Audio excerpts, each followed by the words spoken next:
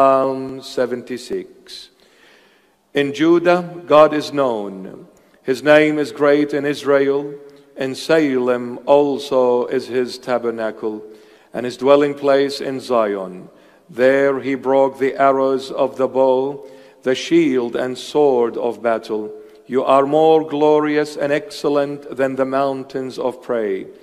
The stout hearted were plundered, they have sunk into their sleep, and none of the mighty men have found the use of their hands. At your rebuke, O God of Jacob, both the chariot and horse were cast into a dead sleep. You yourself are to be feared, and who may stand in your presence when once you are angry?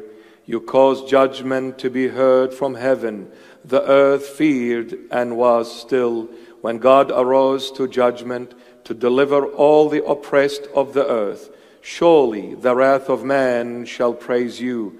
With the remainder of wrath you shall gird yourself. Make vows to the Lord your God and pay them. Let all who are around him bring presents to him who ought to be feared. He shall cut off the spirit of princes. He is awesome to the kings of the earth. And all glory be to our Lord and Savior Jesus Christ.